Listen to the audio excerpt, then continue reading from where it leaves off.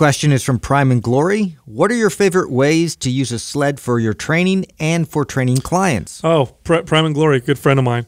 Um, okay, sled is a, in my opinion, for me at least, was a game changing piece of equipment that I didn't utilize until much later. Mm-hmm. Um, I didn't understand its value until much later, mainly because the gyms and stuff that I worked in didn't have sleds. Sleds require uh, you know, uh, some kind of a space that you can drag them across, either fake grass or, or bring them outside. So I just wasn't exposed to a lot of them.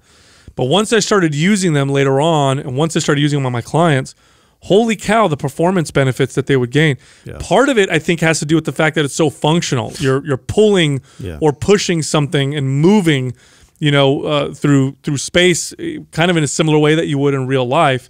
The other part I think is that your body knows how to do that well yes. already, and I think that that's that that's something that differentiates like having to learn the skill of a squat, for instance. Like that takes some time for people to really build and develop that skill. Where this is something that's almost immediate, and so if I had anybody with any kind of like uh, knee issue or anything that was like a little bit where it, it, inhibited their performance on the squat, like that was another great alternative for me to then still build up leg strength and drive, uh, you know, simultaneously while we worked on the skill of the squat. Oh, yeah. You could have most people, unless you're dealing with someone who's very, very deconditioned or really bad issues, most people can push a really light squat, a really light sled. Like you could get the average person and say, okay, you can't squat yet. Your lunges, we got to be very yeah. careful. You're still, not, but I can have you hold these handles and just push this sled here for 15 feet, and then that's your exercise.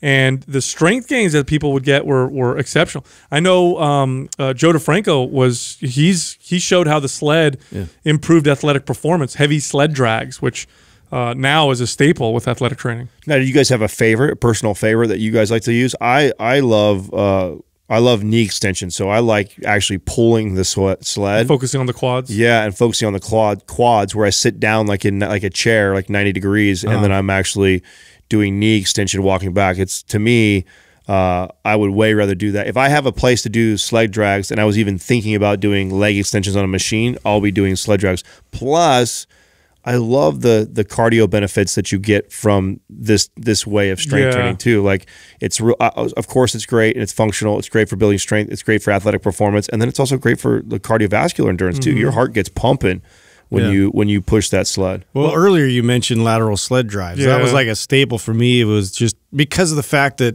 uh, you know, moving laterally to begin with, there's just not a whole lot of exercises that um, you can pull from. There's, it's like a small category, mm -hmm. and so this was one of them where, uh, it, again, it's functional. Like you, you, you intuitively sort of can know how to how to move sideways while something is is is you're dragging behind you, uh, and then you know improving on that helps then to then give you more stability uh, whenever you're just squatting, you know, with both feet. Yeah, I would say I noticed the most benefit uh, from lateral, uh, like, like karaoke's or lateral pulling. Basically, okay, so lateral pulling basically means I have something attached to my waist, yeah. or I'm holding something with my upper body, and I'm Some pulling kind of a harness. Yeah, and I'm pulling the sled, but I'm walking sideways. I'm either walking sideways by stepping out, bringing my feet together, or pushing off, then bringing my feet together, or I'm crossing right. my One's legs. crossing over. in front, which is what I like to do, and then step sideways. That one right there is one of my favorite. Now, the one that I like the most because it's the most fun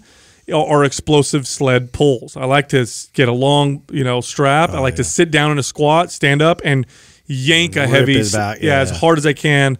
And that's just because of my my my when I did judo as a kid and jujitsu, that ability to oh, pull yeah. into into you is really well. Important. Think about that for power, you know, and like I mean, we're we're like like using rows for strength is great, but now how do you make that more explosive? More that's a great way to make that that great exercise more explosive. Yeah, I would say if you own a home gym, uh, of course, most important barbells, dumbbells, a rack, an adjustable bench.